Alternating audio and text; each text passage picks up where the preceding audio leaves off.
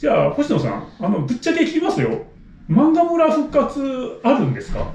ありますえー、っとね、星野ロミさんのあの、ツイート見てて気になってたんですけど、クラウドフレアっていう会社があるじゃないですか。あそこからなんか接待を受けて、はい。なんか月400万だの500万だのみたいなことが書かれてたような気がするんですけども、うんそもそもあの、クラウドフレアっていう会社、コンテンツデリバリーサービス、CDN っていう、まあ、あの、ネットワークですネットワークシステムですね。あの、クラウドフレアで、フレアという会社、まあ、私は、あの、わかりやすく説明しますと、クラウドフレアって、確かアメリカの会社でしたっけ？えー各地にサーバーを置いてるんですね。例えば漫画村なら漫画村のサーバーがあって、そこからデータを、まあ、直接ね、世界各国のいろんなユーザーにデータを届ける場合、まあ、回線の太さにも限界があるし、距離的に離れてるとやっぱりちょっと遅れが出てしまうんですね。だけど、クラウドフレアっていう会社は世界各国にね、サーバーを持ってて、そそこにあのデータを移して、そこから配信するっていうようなサービスをやってるんですね。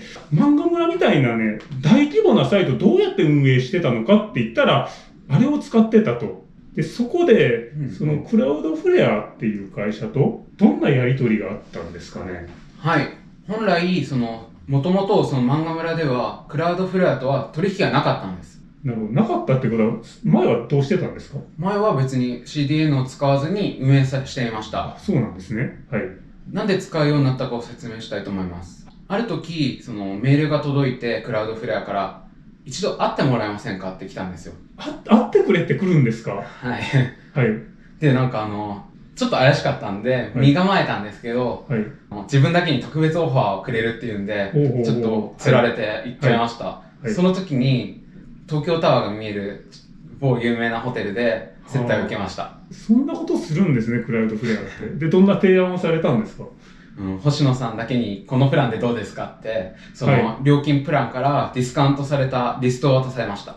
それはなんか400万円、500万円。あの、本来な、1000万とかかかるその費用のところを500万くらいに減らしてくれるっていうプランでした。あ、月にですか？はい、月にです。契約したんですか？しました。あ、そうなんだ。500万っつって。500万でも安いんですかね？ものすごい安いです。日本でもしもやった場合は、1000万はくだらないです。もっとですね、2000万もおかしくないです。あ、実際1000万かかるような感じで使ってたんですか？いや、日本ではそのサーバーは借りてはいたんですけど、はい CDN としては使ってませんでした。あ、そうですか。それでもうラッキーということで。うん、もうなんか向こうから行ってきて、はい、サイトも早くなるし、俺に得しかないやん、ラッキーみたいな。ちなみにクラウドフレアはあの漫画村っていうのは知ってたんですよね。はい、もちろん知っててオファーしてきました。で、なんかいろいろ騒がれて燃え炎上してるっていうことも知ってたんですね、クラウドフレああ、どうですかね。その時はそこまでまだ炎上してなかったア。ので。あ、そうなんですか。うんあでもそういうなんかちょっとこの、あの、際どいサイトでもオファーを出してくるんですね、クラウドフレアは。はい、お金が全てだと思ってます、多分。まあでもよく考えたらね、不思議でもないかもしれない。YouTube なんかも最初はグレーでしたからね。ん。うんそう考えると、まあひょっとすると漫画村もなんか YouTube みたいになるんじゃないのっていう思惑があったっていう可能性もあるかもしれないですね。そもそもそのリバースプロキシっていうのを理解して、合法サイトだって思ってきてる可能性もあります。ああ、なるほオどちょっとね、このあたりっていうのがやっぱ一般の人にはね、理解しがたいと思うんですけども、やっぱ IT 業界ってそういうところがあるんですね。結構ギリギリのところで、法律ギリギリのところを攻めたものが勝ちっていうところがあるから、クラウドフレアってまあかなり有名で立派な会社ではあるんだけども、そういうところでも声かけてくるっていうのは、まあ日本の会社だったらやらないのかもしれないけど、でもアフィリエイト会社とかだったら余裕でやりますかね。うん、全然アウトライン超えてきます。あ、そうですか。やっぱりそうなんですね。ちょっとここでね、宣伝させていただきたいんですけども、ハッカーミミという漫画、先ほどからここに置いてあるんですけども、これちょっと途中でね、漫画村をパロったシーンがあるんですね。ぜひこれをね、あの、これね、うちにね、いっぱい山積みになっててですね、これどうしようかと思ってるところなんですよね。ぜひね、あの、星野のみさんにも一冊差し上げてですね。いやいやいやいや、俺、それしていただきたい聞いてないですけど、その漫画村がパロディで出るなんて。いや、別に漫画村っては書いてないいやんで。でも絶対パクってるじゃないですか。いや、パクってはないですよ。いや、こんなの買う必要ないですよ。違法アップロードでやりましょう。えいや、あの、あの、アマゾンで売ってるんで、皆さん、あの、違法アップロードはね、なるべく勘弁していただきたいんですけども、あの、ぜひね、あの、お読みいただければと思います。それで、そうなんですよ。アフィリエイトといえばですね、アフィリエイト会社っていうのはどんな感じなんですか？アウトラインを超えてくるっていうふうにさっき聞きましたけども。うんうん。まあ、例えば、これは例えばの話なんですけど、はい例えばそのカジノのサイトの運営って違法だと思うんですよ。はい。例えばそれを紹介するのも正直グレーゾーンなんですあ、よ。はい。そういうなんかカジノの紹介をしてくれみたいなのも結構来ました。あ、日本の会社がやってくるんですか？はい。日本でもうバリバリやってるところです。よく考えたらもう、アダルトサイトのなんか広告なんかもう何でもやり放題ですよね。はい。やりたい放題でああいうのも日本のサイトなんですか？はい、そうです。日本の会社がやってます。あれもなんかクラウドフレアみたいに接待が来たりするんですか？あーめちゃくちゃ来ます。あ、そうですか。どんな感じなんですか？例えば。えーもう下水の言っちゃっていいですか？どうしよっかな。な、な、ピン、ピンクな接待が？ピンクな接待もあります。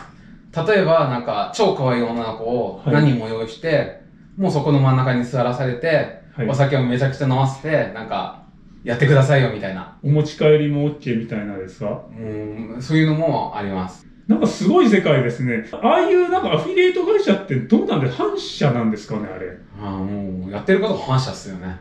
犯罪行為をしてるか別として、はい。うん、そういう接待してて、そういうなんか怪しい人を呼んで、なんか、アフィリエイトで、うちと取引してくださいっていうこと自体、正直、そう思われてもしょうがないと思います。ま、まんまヤクザっていうのでもないのかなああ、全然ヤクザとか絡んでないんですよ。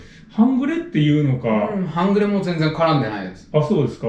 やっぱ IT 業界でなんかもう倫理観がぶっ飛んだ人みたそ、いうな感じです倫理観が、その、欠如したはい。会社の集まりみたいな人です。ね、この動画見てる IT 業界の人、なるべくね、その、なるべく倫理観を失わないように。もう絶対ダメだぞ。いやダメですよ、そういうことダメだしたらぞ。そんなことしちゃダでメだぞ。アフィリエイト会社の人も確か捕まってるんですか？いや、捕まってないです。捕まってないんですか、うんただ、その民事で、はい漫画村で、あこここう知ってて出して、その儲けたっていうことで、1000万のなんか訴訟を起こされたのかあ、な、民事民事で。民事でやられたんですね。クラウドフレアはやられてないんですかねクラウドフレアはちょっと自分はわからないけど、多分ないと思います。ああ、そうですか。そのあたりのなんか線引きっていうのも、でもまあそういう、本当反社に近いようなところだったらなかなか裁判官にも同情されにくいっていうところがあって、ターゲットになりやすいっていうのはあるかもしれないですね。まあ、見せしめ的な要素が多かったと思います。ちなみに、どうなんですかね、その収益というか、アダルト関ってそういう怪しいアフィリエイト会社っていうのも、まあそれなりに収益があるもんなんですか？アダルトですか？はい。まあ、あ怪しいところからの広告はいを。はい。もらってるのがほとんどです。あ、怪しいところがほとんどでしたか？はい。いわゆるなんかジーニーだのマイクロアドだの、あのちょっとまあ有名だとね、あの、知そういうところかからもオファー来てましたよ。あ、そうですかどうですかでも、オファーして受けたんですか？もちろんその断らないですよ、いいオファーだったら。あ、そうですかでも、止められなかったですか？ああ、なんか苦情が入って結局的にその止まっちゃったっていうのはよくあります。ああ、やっぱり有名どころのアフィリエイト会社は止め止められちゃいますか、そうですね。ユーザーからの、ユーザーというか、集英者とかそういうのからの苦情で止まっちゃいます。ああ、じゃあ最後まで残ってるのが、そのちょっとやばそうなそうそう。ところっていうところなんですね。レッドラインを超えてくるようなアフィリエイト会社です。いや、なんか恐ろしい世界ですよね。なんかそんなことしちゃダメだぞ。わかりました。ありがとうございます。じゃあ最後にですね、うんちょっと今後の展望についてお聞きしたいんですけども、じゃあ星野さん、あの、ぶっちゃけ聞きますよ。漫画村復活あるんですか？ありますいや、言っちゃっていいのかな、これ。え、今、ちょっと待って、今、それを、いや、ダダイレクトに言うのまずかったっすか？いつ復活するんですか？それはまだ決まってないんですけど、はい自分のまあ契機が完全に終わって、ちょっとしてから復活させようかなと思ってます。ちなみにどんな形で復活するんですか？